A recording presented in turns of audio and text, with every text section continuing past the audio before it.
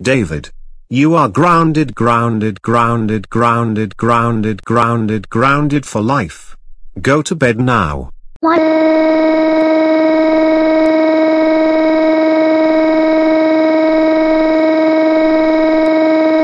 are dead. Elliot Arnold grounded me. Elliot Arnold. How dare you ground my son? He is ungrounded. I will call your parents. No.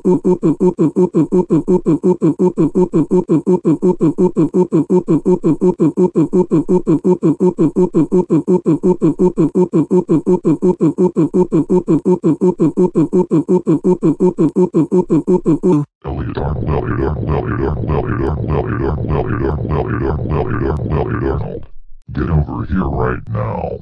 Elliot Arnold, how do you ground David?